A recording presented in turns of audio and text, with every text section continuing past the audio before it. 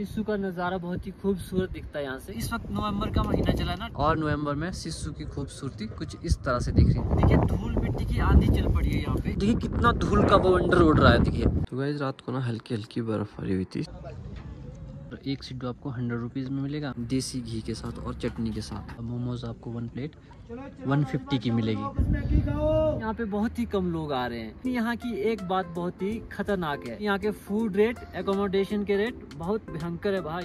आपको यहाँ पानी अगर लेना होगा ना वो भी पैसे से ही लेना पड़ेगा। नॉर्मल वाटर आपको यहाँ पे मिलेगा ही नहीं। मनाली सिसु ये चीज़ें ना हिमाचल में इनका कोई और दूसरा कंपटीटर नहीं है।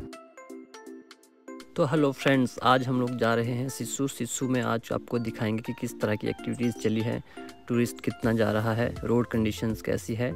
तो सब कुछ आपको इस वीडियो में देखने को मिलेगा। आप इस वीडियो में बिल्कुल एंड तक बने रहें। सर, अभी कुछ चेक पॉइंट्स रोड के ना डैमेज हो चुके हैं तो रिपेयरिंग वर्क चला हुआ है यहाँ भी। सो so गाइज़ देखिए फाइनली हम लोग सिस्सू के पास पहुँचने वाले हैं। जस्ट दो तीन किलोमीटर हम लोग पीछे हैं। देखिए सिस्सू में बहुत ज़्यादा चहल पहल रहती थी। टूरिस्ट एक्टिविटीज़ मनाली के बाद ना जब से अटल टनल बनी है ना तब से सिस्सू में बहुत ज़्यादा ट्रैफ़िक होता है बहुत ज़्यादा लोग सिस्सू आते हैं सिस्सू विज़िट करते हैं। लेकिन इस बार सिस्सू में इतना ज़्यादा क्राउड है ही नहीं। लोग मनाली ही बहुत कम आ रहे तो सिस्सू तो आएँगे ही कम फिर। देखिए फाइनली हम लोग सिस्सू पहुँच चुके हैं और सिस्सू में हम लोग विज़िट करेंगे सिस्सू हेलीपैड। सिस्सू हेलीपैड है ना वही एक मेन अट्रैक्शन पॉइंट है क्योंकि वहीं से वाटरफॉल भी दिखता है सिस्सू वाटरफॉल और साथ में एक लेक भी है। तो देखिए माउंटेन व्यू एक बार। कितना ह्यूज माउंटेन वो देखिए वो नीचे रहा सिस्सू हेलीपैड। वाटरफॉल वाटरफॉल में अभी पानी बहुत कम है क्योंकि पहाड़ों पे ना बर्फ़ इतनी ज़्यादा नहीं पड़ी। तो अभी हम लोग नीचे उतर रहे हैं हेलीपैड की तरफ़ को। देखिए झील यहीं से नज़र आ रही है। आजकल हरियाली कम हो चुकी है क्योंकि नवंबर का महीना चला है तो पतझड़ यहाँ पे शुरू हो चुका है।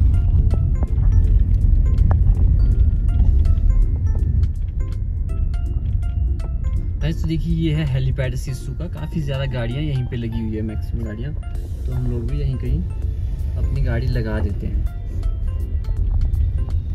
तो गाइज़ देखिए फाइनली मैं पहुँच चुका हूँ सिस्सू ये है खूबसूरत सिसु ड्यूरिंग विंटर इस वक्त चला है नवंबर का महीना और नवंबर में सिसु की खूबसूरती कुछ इस तरह से दिख रही देखिए देखिए, ये है पूरा हेलीपैड। तो हेलीपैड में हमने गाड़ी यहाँ पे अपनी पार्क कर दी है और उस तरफ़ पूरा व्यू देखिए एक, एक बार इस तरफ़ ये है सिसु का ऊपर मार्केट और सिसु जो जहाँ पे होटल वगैरह आपको मिल जाएँगे। हमने भी वहीं पे रूम लिया ऊपर। तो काफ़ी खूबसूरत जगह देखिए। और वो सामने वाटरफॉल देखिए मेरे पीछे वो बाहर इस वक्त वाटरफॉल में पानी बहुत कम है। इस तरफ़ को आपको ना फ़ूड वैन्स ही मिलेंगी। देखिए कंटिन्यूसली यहाँ से वहाँ तक। फ़ूड वैन ही फ़ूड वैन है पूरी। चलते फिरते कैफ़े चलते फिरते रेस्टोरेंट चलते फिरते ढाबे। ये आपको सिसु हेलीपैड में मिलेंगे। तो देखिए, फ़िलहाल एक्टिविटीज़ यहाँ ना काफ़ी हद तक बंद हो चुकी है। देखिए, ये सब एक्टिविटीज़ यहाँ पे होती हैं सिस्सू में। जिप लाइन्स वगैरह भी हैं। कुछ एक जिप लाइन्स तो यहाँ पे चली हुई है। और ये देखिए सिस्सू का व्यू। चंद्रा नदी यहाँ से गुजर रही है पूरी। देखिए, पानी काफ़ी अच्छा है चंद्रा नदी का। और आगे जाके चंद्रा और भागा नदी, तांदी ब्रिज के पास मिलती है। वहाँ से आगे बड़ी नदी बनती है, चंद्रभागा नदी। तो देखिए, आजकल तो नदी शांत है, फ़िलहाल पहाड़ों का व्यू देखिए एक बार।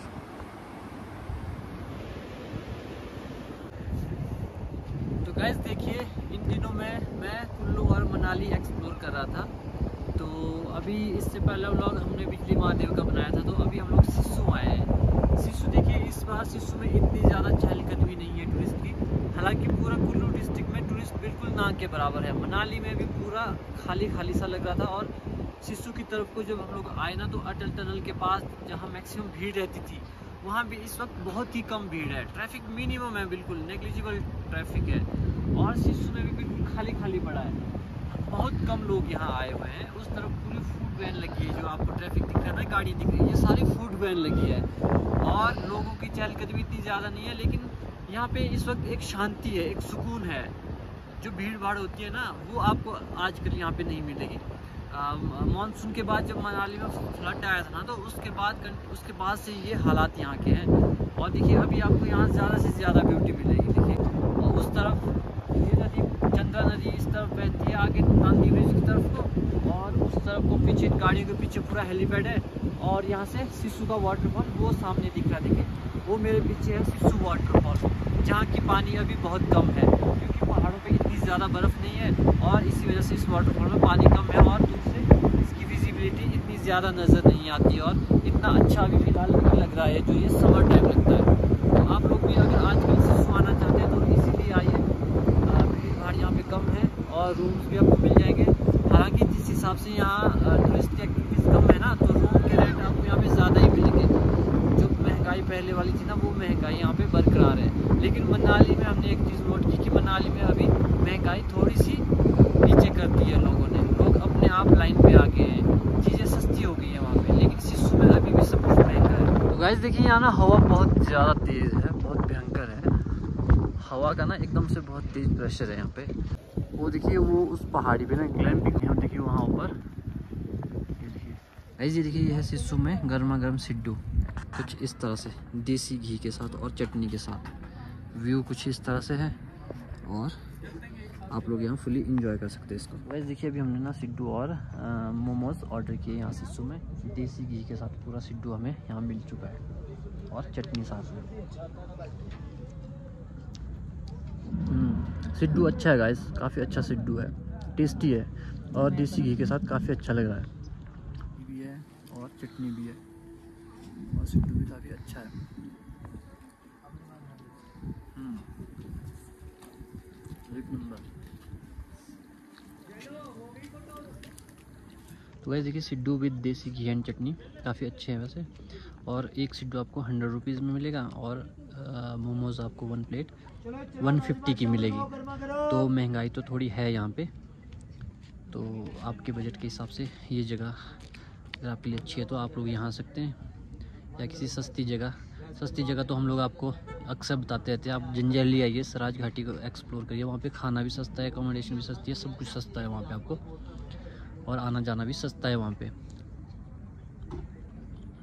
तो ये जगह काफ़ी महँगी है। तो गाइस देखिए मोमोज़ कुछ इस तरह से, ये मोमो की चटनी है और हमें टेन पीस मोमो मिले।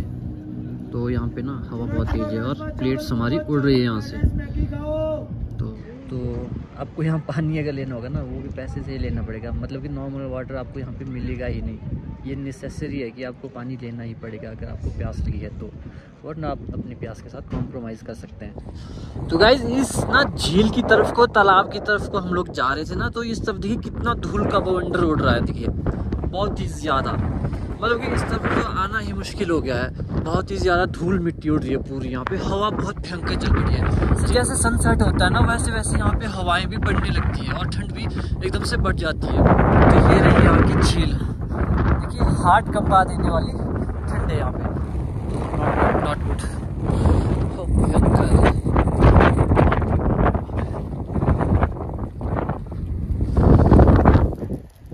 तो गाइस देखिए सिसु का ट्रिप हमारा आज का यही तक था तो सिसु में सिर्फ़ इतना एक्सप्लोर करने के लिए विज़िट करने के लिए एक तो ये हेलीपैड हो गया हेलीपैड के साथ ये छोटा सा तालाब और झील इसको कह सकते हैं और साथ में सिसु वाटरफॉल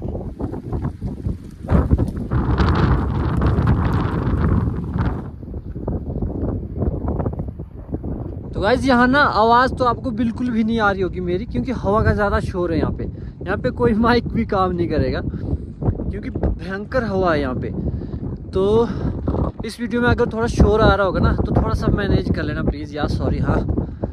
वरना मैं पूरी कोशिश करता हूँ कि अपनी बात बिल्कुल क्लियरली रखूँ, लेकिन यहाँ पे ना हवा का ज़्यादा शोर आ रहा है, मेरी आवाज़ कम आ रही हो तो गैस देखिए, अभी ना शाम के सात बज चुके हैं और सिसु में भयंकर ठंड पड़ी है। मैं होटल के अंदर से बाहर की तरफ़ अगर आपको व्यू दिखाऊँ तो कुछ इस तरह का व्यू दिखता है। ये देखिए। गाइस तो देखिए, इस टाइम रात के आठ बज चुके हैं, सवा आठ हो चुके हैं, और सिसु में देखिए, इस वक्त बर्फ़बारी शुरू हो चुकी है। दिन को पूरा मौसम क्लियर था, साफ़ था बिल्कुल से वेदर और अचानक से ये बर्फ़बारी यहाँ शुरू हो चुकी है। देखिए, कितनी शानदार, कितना शानदार नज़ारा लग रहा देखिए